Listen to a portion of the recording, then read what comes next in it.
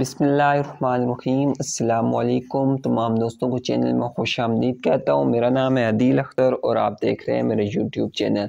आज की इस वीडियो में मैं आपको पाकिस्तान पोस्ट ऑफ़िस में जो जॉब्स आई हैं, उनके एप्लीकेशन फॉर्म को डाउनलोड करने, उसको फिल करने का कंप्लीट तरीक़ाकार इस छोटी सी वीडियो में आप लोगों को बताऊँगा। फॉर्म के साथ आपने क्या कुछ अटैच करना है, वो भी आपको इस वीडियो में बताया जाएगा। इसलिए आपने वीडियो को कंप्लीट वॉच करना है। अगर आपको वीडियो अच्छी लगे तो वीडियो को लाइक शेयर और चैनल को सब्सक्राइब कर दें, ताकि आपको पाकिस्तान में आने वाले लेटेस्ट जॉब और ऑनलाइन अर्निंग के मैथड्स के बारे में इंफॉर्मेशन मिलती रहे। तो सबसे पहले हम ये देखते हैं कि आपने फॉर्म को कैसे डाउनलोड करना है। सिंपली आपने गूगल ओपन कर लेना है और यहाँ पर आपने new job info dot website लिख देना है। वेबसाइट का लिंक आपको नीचे डिस्क्रिप्शन में मिल जाएगा। यहाँ पर सबसे ऊपर आपने न्यू जॉब इन्फो के ऊपर क्लिक कर देना है। यहाँ पर आपके सामने new job in Pakistan post office लिखा हुआ नज़र आएगा। आपने सिंपली इसके ऊपर क्लिक कर देना है। अगर आपको ये यहाँ पर लिखा हुआ नज़र नहीं आता तो आपने सरकारी नौकरी के ऊपर क्लिक कर देना है तो वहाँ पर आपको ये पोस्ट जो है वो मिल जाएगी। सिंपली आपने इसके ऊपर क्लिक कर देना है। जो ही आप इसके ऊपर क्लिक करेंगे तो यहाँ पर आपके सामने पोस्टों वगैरह की नेम कौन कौन सी पोस्टें हैं, कंप्लीट डिटेल आपको मिल जाएगी। थोड़ा सा आपने नीचे आना है। यहाँ पर अगर आप application form Pakistan post click care अगर आप इसके ऊपर क्लिक करते हैं तो आपके सामने जो है, वो फॉर्म डाउनलोड होकर आ जाएगा। इस फॉर्म का जो है, आप इसके ऊपर क्लिक करें। तो आपके सामने जो है फॉर्म आ जाएगा। इस फॉर्म का आपने प्रिंट लेना है, ठीक है? प्रिंट लेने के बाद आपने इस फॉर्म को कैसे फिल करना है? एप्लीकेशन फॉर दी पोस्ट जिस भी पोस्ट के लिए आप अप्लाई करते हैं सपोज़ करें अगर आप यूडीसी की पोस्ट के लिए आप अप्लाई करते हैं तो आपने यहाँ पर जो है वो यूडीसी जो है वो लिख देना है। यहाँ पर बीपीएस जो भी एडवर्टाइजमेंट में लिखा होगा, वो आपने देख कर जो है यहाँ लिख देना है, ठीक है? सपोज़ करें ये यूडीसी का जो है बी पी है, आपने एलेवन बी लिख देना है, ठीक है?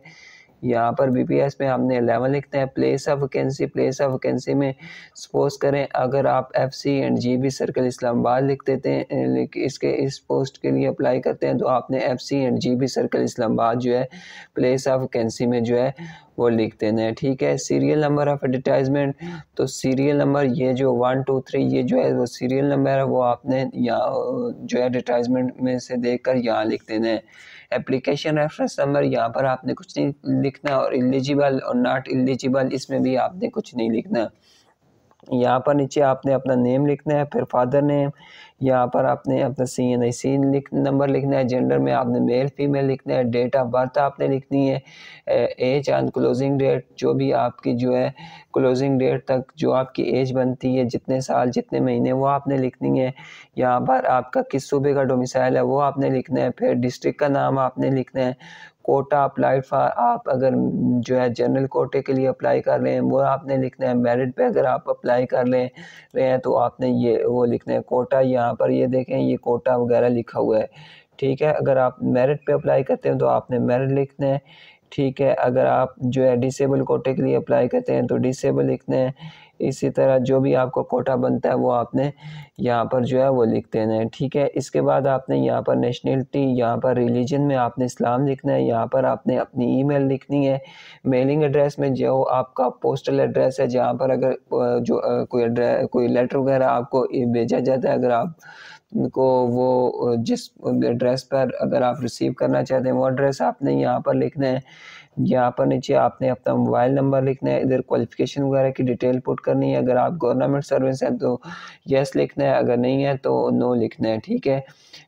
तो अगर आप जॉब कर रहे हैं किसी डिपार्टमेंट में डिपार्टमेंट का नाम डेट ऑफ़ अपॉइंटमेंट डिस्टिगनेशन वगैरह लिखनी है, अगर आप किसी गवर्नमेंट डिपार्टमेंट में मुलाजमत कर रहे हैं, अगर नहीं लिख कर रहे तो आपने इसको जो है वो खाली छोड़ देना है। पोस्टल आर्डर में यहाँ पर आप जो पोस्टल आर्डर जो आप पाकिस्तान पोस्ट ऑफ़िस से लेंगे, उसमें जो है, वो नंबर लिखा होता है, पोस्टल आर्डर के ऊपर, वो आपने यहाँ पर लिखना है, यहाँ पर आपने अमाउंट लिखनी है, ठीक है, और यहाँ पर नेम ऑफ़ पोस्ट ऑफ़िस जिस पोस्ट ऑफ़िस से आपने वो जो पोस्टल आर्डर है, वो परचेज़ किया, उस पोस्ट ऑफ़िस का आपने नाम लिखना है, और जिस डेट को आपने लिया, वो डेट आपने यहाँ पर लिखनी है। नीचे यहाँ पर आपने अपने सिग्नेचर करने हैं, यहाँ पर आपने डेट डालनी है।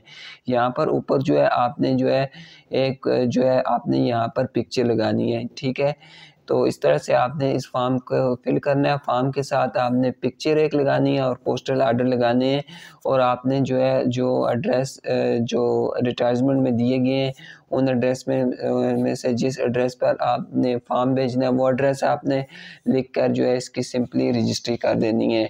तो उम्मीद करता हूँ दोस्तों आपको तरीक़ाकार समझ आ चुका होगा। अगर आपका कोई भी क्वेश्चन है या अगर आपको किसी बात की समझ नहीं आई तो आप नीचे कमेंट्स करके मुझसे पूछ सकते हैं। वीडियो देखने का शुक्रिया।